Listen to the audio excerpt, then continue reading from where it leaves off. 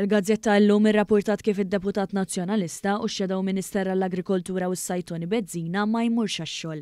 Il-gazzetta qalet li l-perit Bezzina, impjegat mad-dipartiment tax-xogħlijiet pubbliċi, imur rarament għax-xogħol u meta jmur jagħmel dan biex jimla l-fjuwil għall-karozza tiegħu biex jużaha għal skop privat.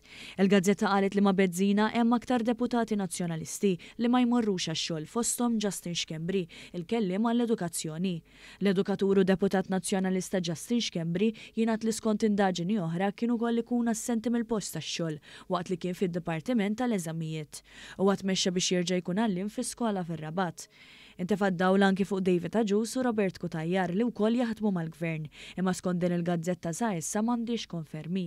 Kontra t-tliet deputati Nazzjonalisti li tinkludi lil Toni Bezzina, paga ta' 51 elf ewro ma jmurx għax-xogħol, infetħu ilmenti minn Neville Gafa quddiem il-Kummissarju għall-Istandards fil-Ħajja Pubblika. Dan biex issir investigazzjoni fuq ksur ta' etika.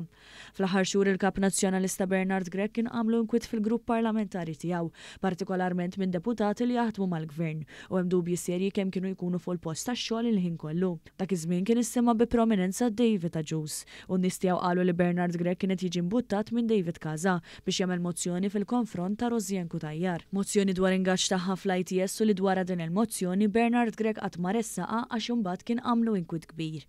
Casa kien imbotta lil Bernard Grech biex jagħmel din il-mozzjoni fi żmien meta kien jara lil David Agius theddida hekk kif dan kien qed itellaq miegħu għal siġġu fil-Parlament Ewropew.